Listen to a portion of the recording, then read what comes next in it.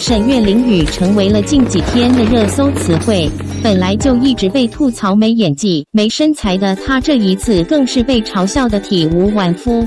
她的空气刘海玉与秒变条形码。同样和她一起拍雨戏的王鹤棣就显得帅气很多了。只不过他炫酷吊炸天的道明寺气场一点都没有了，只能说还是太年轻啊。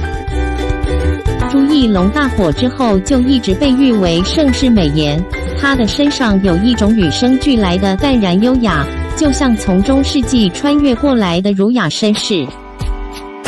在《镇魂》中被雨淋湿了的朱一龙不仅没有变丑，反而还多了几分性感。难怪《镇魂》女孩要给编剧寄刀片啊！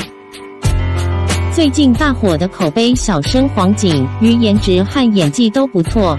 他不同于现在的的流量小生，他身上有一种硬汉男人味，十分讨人喜欢。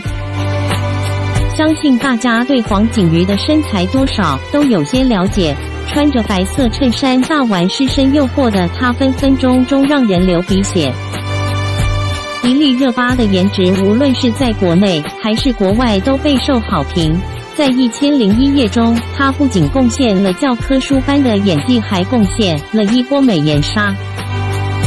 淋了雨之后，黛眉微皱的她楚楚动人，有一种我嫁犹怜的少女感。这才是真正的颜值担当啊！风格百变，怎样都好看。热巴的老板杨幂是少女系的掌门人。她的颜值丝毫不输于迪丽热巴，在雨中的大幂幂，眼神坚定如出水芙蓉。你被上面哪位明星淋雨的镜头惊艳了呢？